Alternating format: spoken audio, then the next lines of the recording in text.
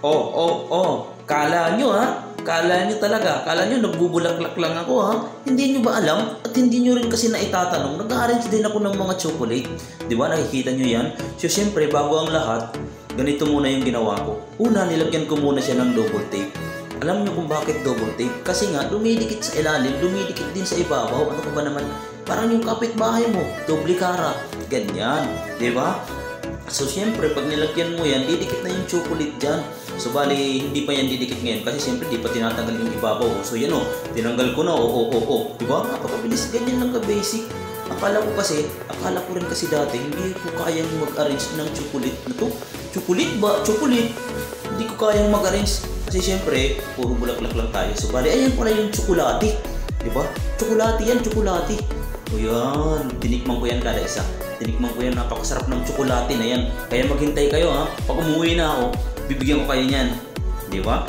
Eh, tignan nyo lang kung ano dyan yung gusto nyo. Tsokolate, ibibigay ko para sa inyo. Di ba? So, syempre, yung una muna, ginawa ko muna dito, eh, syempre, nilagyan ko muna siya. Pero mali pala. Di ba? Tanga-tanga. Alam nyo, aircon, aircon na aircon, pinagpapawisan yung nguso ko. Di ba? Ganyan, ka, ganyan kasi walang trabaho ngayon, walang ginagawa. Pero pinagpapawisan, aircon na aircon yan. O di ba? Pawis na pawis yung nguso eh.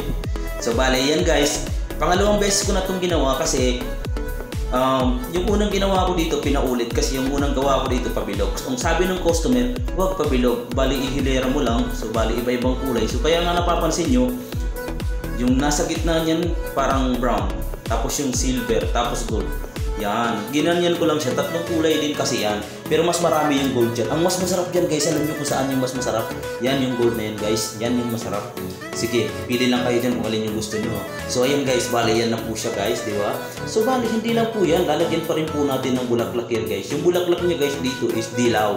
Yun, yung bulaklak niya dito is plastic. Okay? Plastic, parang yung kaibigan mo, plastic. So, nilagyan ko rin siya ng uh, hydrangea, tsaka kali lily, tapos may stargazer, yun. Yun. Kahit ganyan lang yun kasimple, at least, maganda.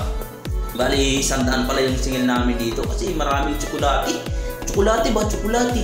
Nahihirapan ako dito magawa kasi madaming ang tsokolate.